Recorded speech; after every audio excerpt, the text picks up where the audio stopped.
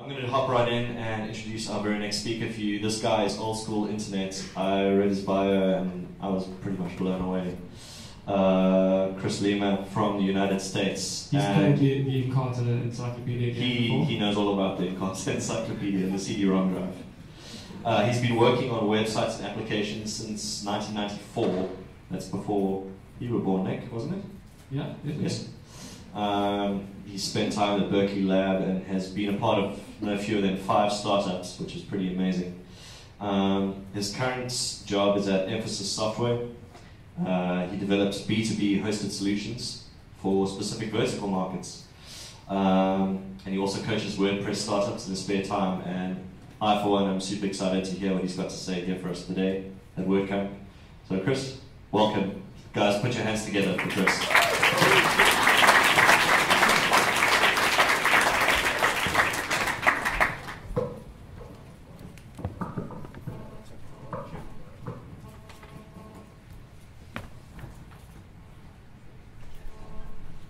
She was the uh, she was the kind of friend that you'd have over for dinner.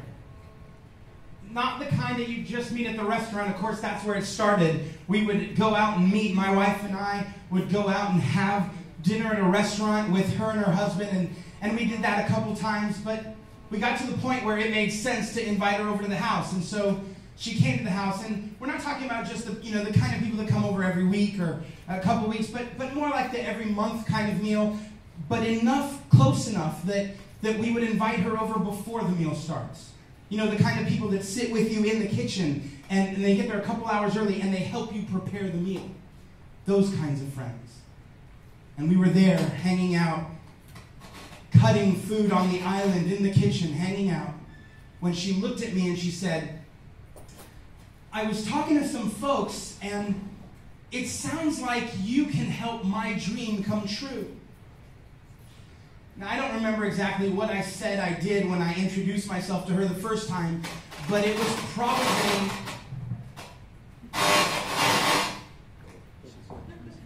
It was probably something like I build enterprise software. Enterprise. Enterprise software for vertical markets. In niche vertical markets. Do we get it there now? Enterprise software for niche vertical markets where we're sticky and can uh, sit in the essential parts of the organization. And, and that was just a lot of words. Niche, vertical markets, enterprise software. That was basically code for saying, no, I can't help fix your printer. but this time, we're sitting there getting ready to cook dinner, and she looks at me and she's like, I hear that you can help make my dream come true. I did what any rational, intelligent human being would do. I said, Well, can you first tell me your dream? She had this vision of, of building a company, her own company. And of course, I'd worked in several startups, I'd coached several startups. And so I said, Well, tell me more. And it was to build a, a company that was part bookstore, part cafe, and part massage therapy. Now, don't judge, it wasn't my dream, it was hers. But I said, well, why don't we start with the one that's most important to you? Because it sounds like you actually have three businesses there. And she said, well, I really, I, I'm all about the massage therapy thing. That's, that's the stuff that I would do forever for free. It's my passion. I want to do that. And I said, yeah, I, I can help you. In those days, I was the kind of guy who said, you know, I'm a one stop shop. In fact, I would say things to other people like, my clients like that I can do everything. I can design the logo and I can design the site, I can do the design, I can do the coding, uh, you know, I can, I can work on the content. If I ever say that to any of you, just walk up behind me with a 2x4 and just hit me on the back of the head. I'm done with those days. But in those days, I was a one stop shop. And so I said, Yeah, I can help you. And so there we were working on her logo, and it was maybe the fourth iteration. And I say four because if I told you seven, you'd think I was a little crazy. And if I said seven, it'd be because I'd be lying, because I didn't want to tell you 14. But there we were, and she still didn't see the logo that wanted to pop. And so we were working it through, and we finally got to the logo she liked, and we went to the, to the site itself and designed the theme and got the site set up. And then I started working on content because, you know, she was busy. And because I was a one stop shop. And so I wrote all the content. I know so much about deep tissue massage. I know all sorts of kinds of massage, and it was all set up in the site. It was beautiful, and she loved it, and she was ready to have her dream take off. And then she said, Well, how much do I owe you? Well, you've been there. You've heard the question. And I did what you've done. I looked across and I said, Well, you know, I, I love doing this. I love helping people. Why don't you tell me what you think it's worth? and so she paid me 2,000 Rand. When she first said $200, I didn't know how to react. $200 is in like the four of us go out to dinner and have a bottle of wine and we spend that $200? That $200? Or maybe we were talking about a different currency in a different country. Maybe $200 where she was thinking of meant a lot more money, but no. She was talking about $200. And I'm like, I wrote, did the logo and the design and the theme and the coding and the content for $200? If you think that's bad, I want to tell you another story. My wife and I were at that point just engaged, and we found a florist, and the florist was fantastic, and we loved all her stuff, and so we asked her to do the flowers for our wedding, and I, I did what I normally did in those days. I said, What's your email so I can send you some information about our wedding? And she said, I don't have an email. I said, You run a company and you don't have an email? Well, do you have a contact form on your website? She said, I don't have a website. I said, Okay, well, you know, I have a day job, but in my spare time, I help people like you, and I could probably help you get a website up and even get an email configured. And, and she said, Oh, God, that would be glorious. If you could do that, I would give you a discount on your flowers. I will hook you up. Okay. I know so much about flowers design the site, design, you know, got it all set up, didn't have to do the logo, that was good news. But she had 80 photos she wanted to put on her website. And some of them didn't look good, they weren't cropped, the lighting was wrong. And I opened up Photoshop and I digitally altered 80 pictures in a row because I was a one stop shop. I was the guy to make it look perfect. And she would tell all her friends. So we got the site up, it got launched. But the email had to go somewhere, and it turned out she didn't have any software for email. So I went to her office and I installed Office and Outlook on three different computers and set up their network because that wasn't configured, and got it all configured and all set up. And then I took my beautiful bride to be to the appointment where we picked out all our flowers and it was ready. And then she said, Okay, now the price is $1,100 for the flowers. $1,100, $1,100. She said, but I'm going to hook you up. Sweet, free flowers. So let's just round it down to an even thousand.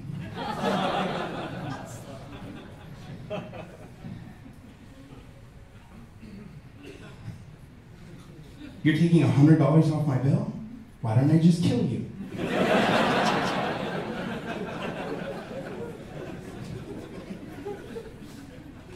I tell you these stories because I want you to understand that if I'm going to talk to you at all about losing profits and anything about professionalism, you need to understand that I'm not coming to you from an academic place. I'm coming to you from the very place where you've been, maybe where you're still at. I've been at those places where I've worked forever and got paid barely anything, and I've learned the hard, the long, hard way, the long, hard, stupid way, how to get better and how to be different and how to interact and manage my interactions with customers. But before I go longer, I know we just had lunch. I know that you're tired and probably zoned out. So let's just do a little interactivity. How many of you have ever been to the dentist? Raise your hand. Awesome. I ask it that way because if I asked it the other way, how many of you have never been to a dentist? You'd be a little more bashful raising your hand, wouldn't you? So you've been to a dentist. So let me ask you this question. When you go to the dentist, have you ever had this experience where you go in, you sit down, the dentist walks in, and you sit down and you say, okay, so I have a hole right here in my mouth and I think I need an implant, but I would like you to use a titanium screw when you screw it into my skull. Anyone done that? No, none of you have given advice to the dentist. Okay, well, how many of you have been to a mechanic for your car?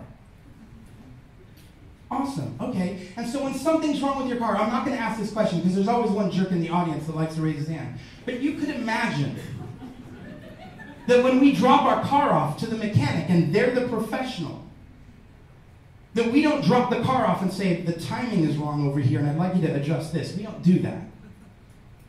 Right? Because they're the professional. How of you design sites for clients? Right. How many of you have ever listened to a client tell you that they need a slider on their homepage? Yeah? No, I'll just wait till the rest of you decide to stop lying. Because I know it's there, right? You're the professional. You're the professional, and yet someone walks into your office or someone gets on a Skype call with you and they tell you that they need a slider on their homepage. And you say, well, the customer's always right. I don't tell the dentist how to do his job. I don't tell the mechanic how to do his job. And I certainly don't let clients tell me how to do my job. Does that make sense? By the way, sliders suck.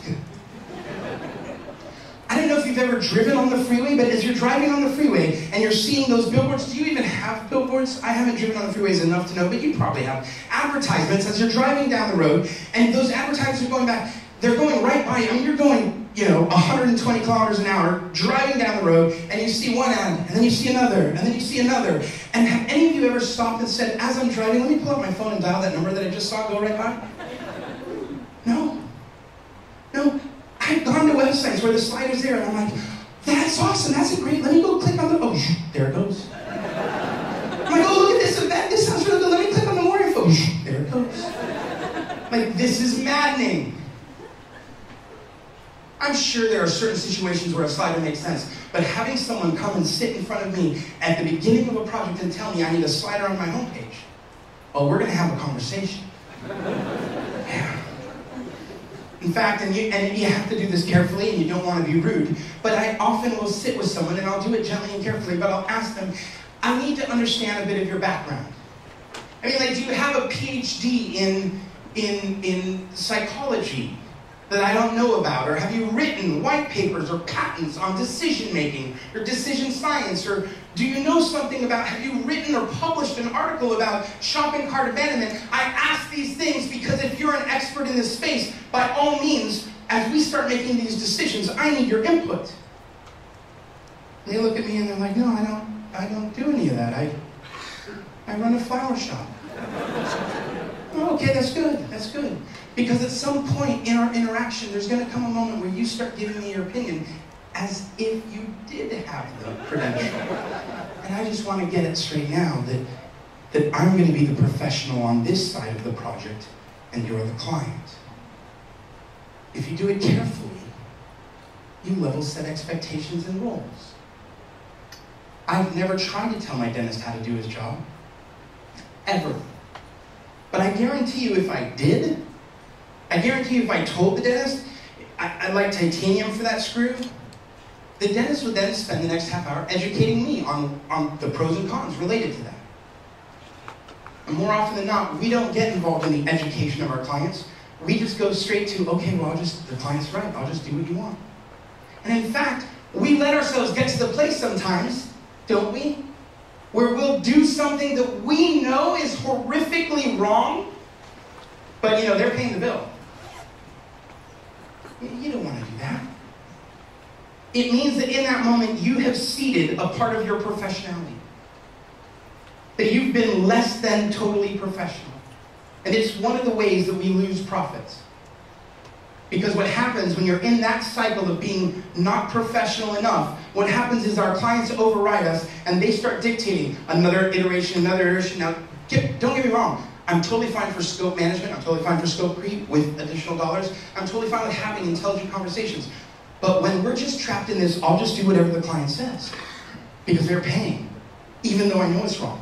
Even though I'll head over to the bar afterward and talk crap about them later. You don't do this, but there's audiences in the US that totally get what I'm talking about. At this point, they're nodding their heads. And so, you know, you talk smack in one place, but you come back and you're like, they're the client, I'll just do what you want. But we know better. If I asked the dentist, hey, could you screw that implant into my mouth with plastic? He'd look at me like, you're just ridiculous. And yet a customer will ask me to do something, and if I say, okay, well, you're the client, I look ridiculous. Don't want to lose profits and you're ceding your professionality, the first thing you have to do is realize that you're giving that up. That's a choice you're making.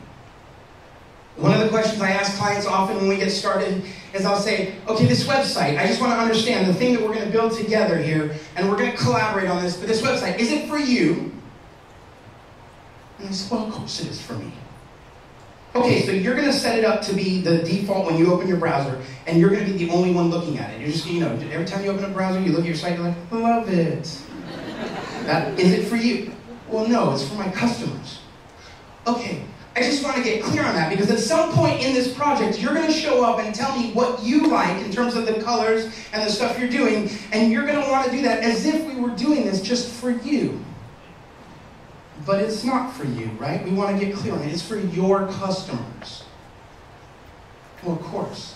And see, when you do it up front, we don't have to have a big emotional debate because no one's invested yet. But when you do it up front, and you manage expectations and you define roles, you don't have to cede any of your professionality. Does that make sense? Yeah? Awesome. Well, today, what I'm talking about are basically two sides of the same coin. Two sides of the same coin. And the first side of the coin that we're talking about, this is all about lost profits, but in reality, it's just the same coin on both sides, not being professional enough or being too professional. When you're not professional enough, you forget to ask the question how are we going to define success? You go straight to the solution. A customer walks in and says, I need a website. You don't ask, Are you sure you need a website? Maybe you only need a landing page. Maybe you only need a one page site. You don't ask the question because you're in worker mode. Okay, they can, because you love solving problems.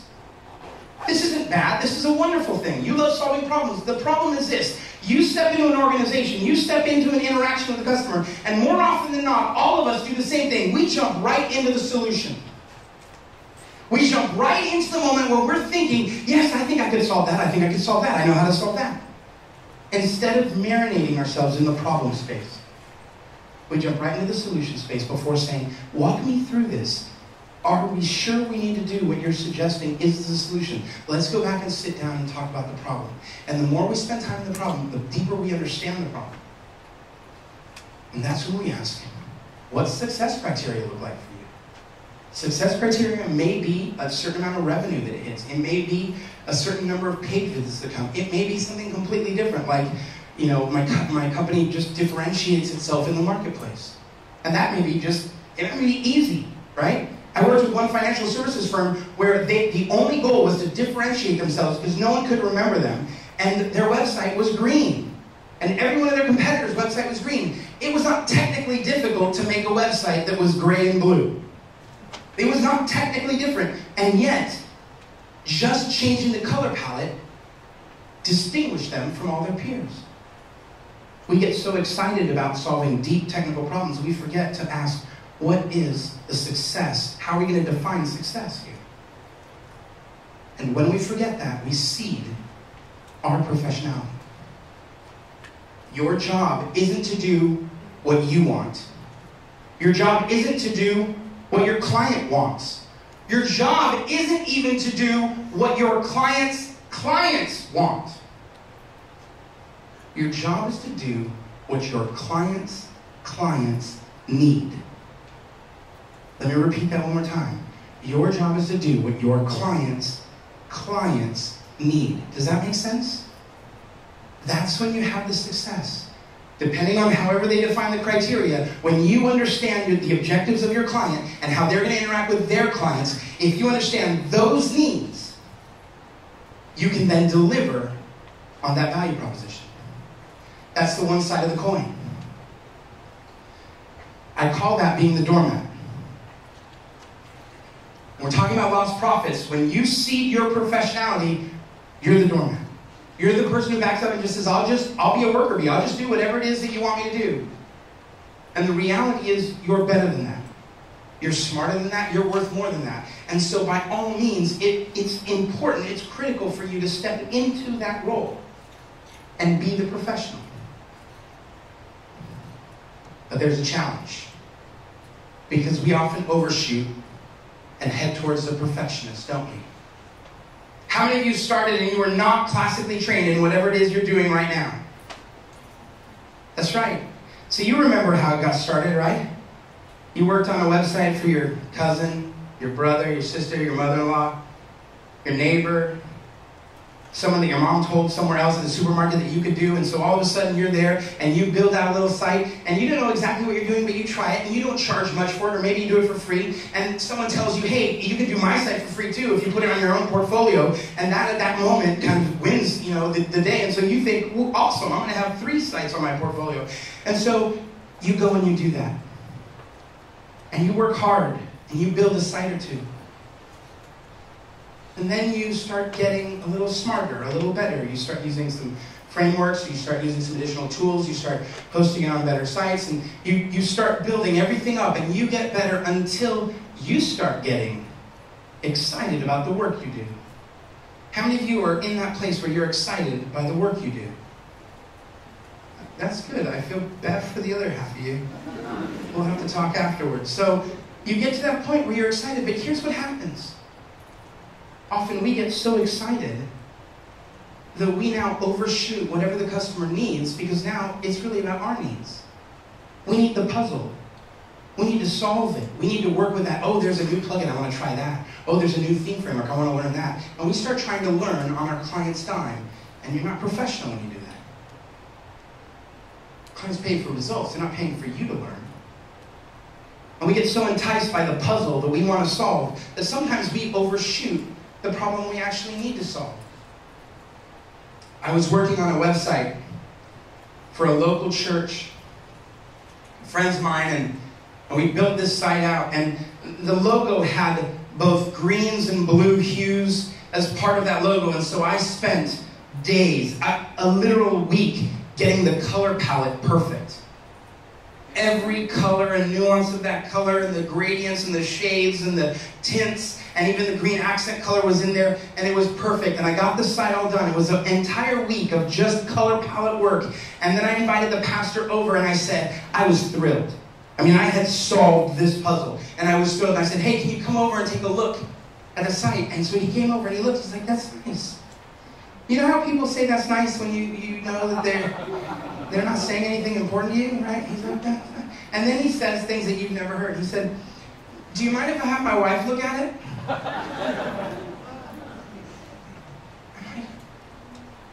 Why? Why do you need your wife to validate the work that I've spent all this time doing? He said, Because I'm colorblind. I know you've never spent a week on a color palette for a client who's colorblind. That's just me.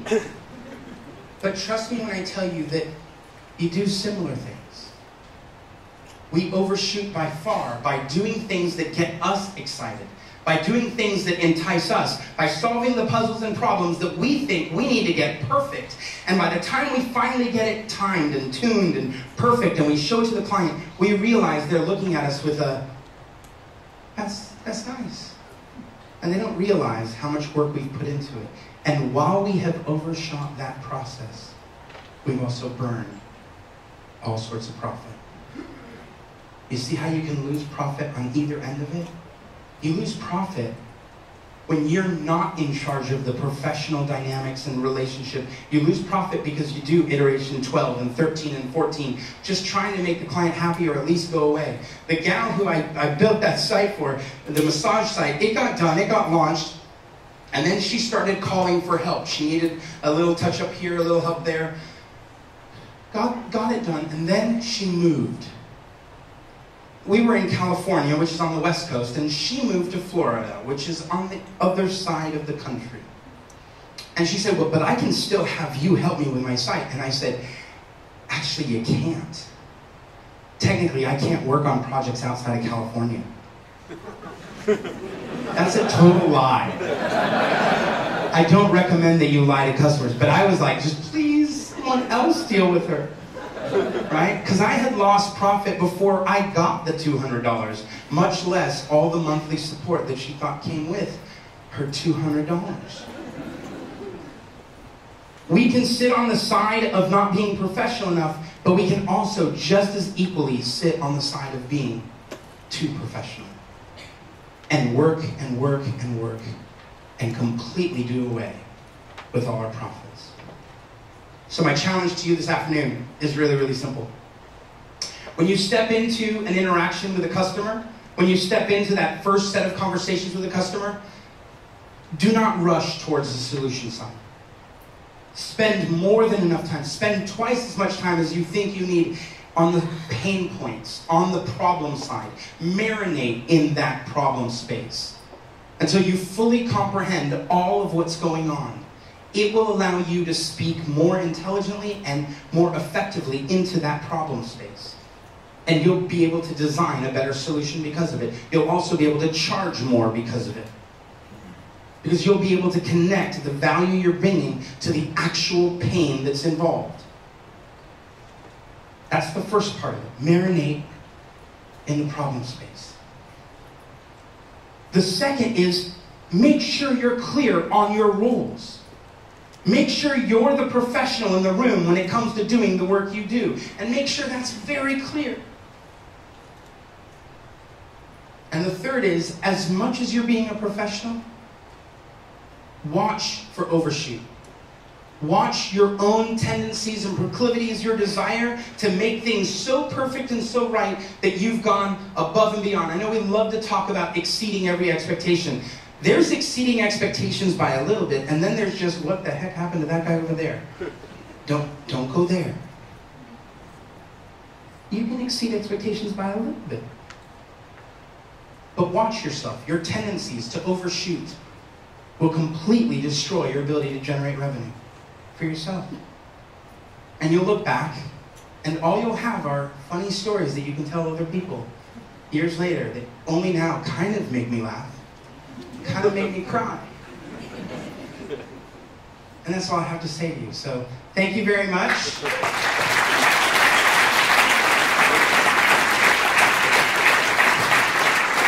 My name is Chris Lema. I blog over at chrislema.com. You can find me also at, Chris Lema on Twitter. And, uh, and I think we're going to open it up for any questions if there are any. Here's one. I shall facilitate the questions. Does anybody have any questions? Here's a mic. Hey, Chris. Um, so just a quick one. So going through that sort of journey of being really unprofessional and then becoming either professional or too professional or whatnot, um, you know, have you seen like a timeline that this tends to happen in, or does it seem to be, you know, is it like a, a predictable kind of a three-year thing or a five-year thing, or is it not really something you can predict? Uh, unfortunately, I think that's related to IQ. some people actually are have a tendency to learn faster than others, and some people learn from their mistakes faster than others, and others are still giving away websites to whoever their mom talks to at the supermarket. So, I, what I tell people is I can lead a horse to water, but I can't make him smart.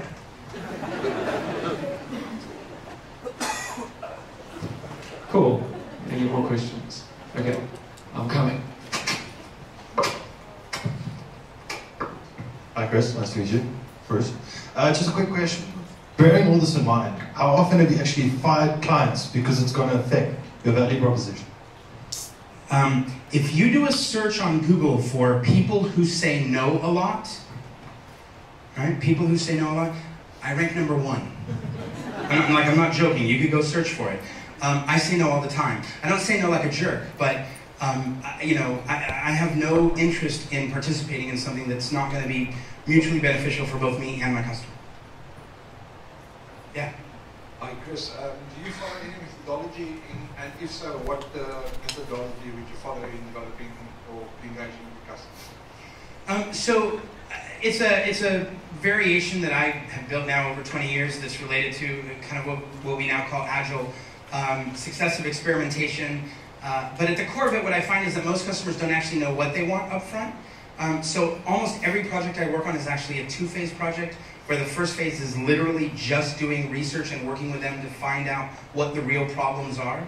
And only then can we actually describe what the solution is going to be and how much it's going to cost. Um, and that works a lot better. Uh, there's a bunch more that's related to, to successive experimentation in that process, but probably longer than we have right here.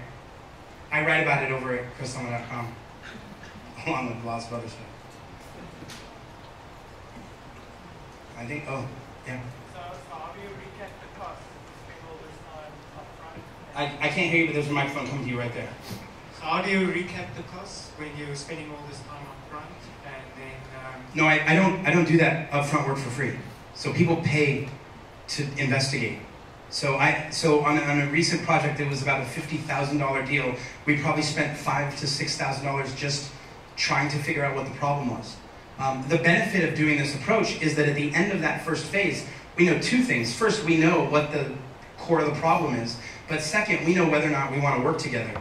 And sometimes uh, that report that comes at the end of that first phase is good enough to give to them so they can go shop for another person because I'm bowing out, right? You, you interact with a person, you realize there's not enough money in the world to make me work with you anymore. So move on. yeah. Uh, firstly, just thank you, man. You're awesome. Um, and secondly, you can totally just Google people who say no, like, you're number one, dude. I, I'm not gonna. I, I say no all the time. Any more questions for Chris? Now's your chance. All right, thank you very much.